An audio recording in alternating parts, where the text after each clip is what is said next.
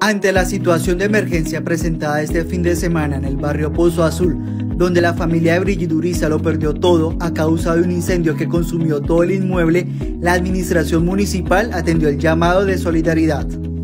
Eso, el sábado a las 5 y media de la tarde un, corto, un cortocircuito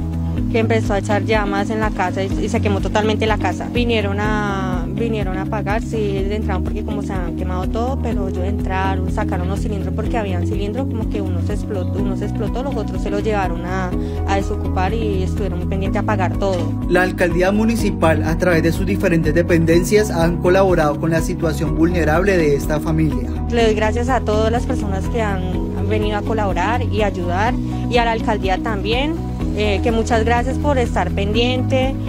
de, de, acá, venir a traer mercado, venir a traer colchonetas, han estado muy pendientes.